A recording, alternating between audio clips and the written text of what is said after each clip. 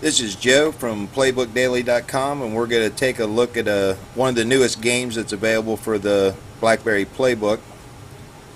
And let me scroll down here to it. It's called Let's Golf 2 by Gameloft. It is the 3D and the graphics on this are phenomenal. There's a preview video here at the beginning. I'll let it play um, so you'll be able to get an idea of the graphics.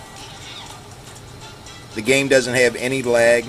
There's three different courses that you're able to play on. 108 holes in total. There's I think eight different characters that you can do upgrades with and do different things. Uh, online leaderboard that you can submit your scores to online.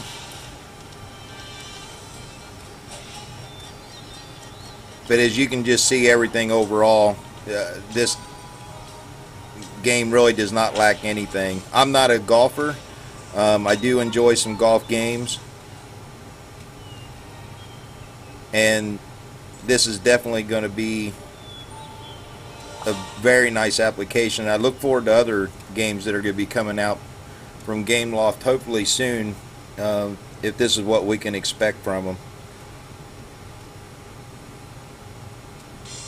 For those that have played Need for Speed, um, which is another great game on the playbook, it does take a little bit to load from level to level, but as you can tell, um,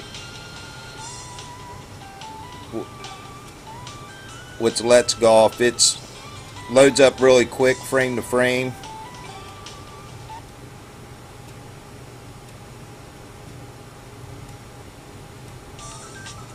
So we'll just pick the first player here. And let's go to Germany here. Let the camera come in focus.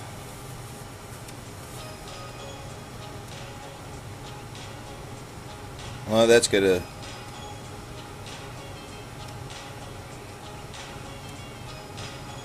start off nice. You simply tap the golf ball go for the maximum. Uh, that one's going to be off just a tad. Let's see how I end up here.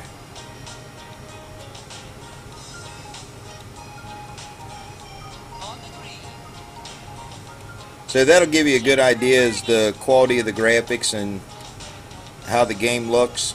Uh, I think it's priced at $6.99.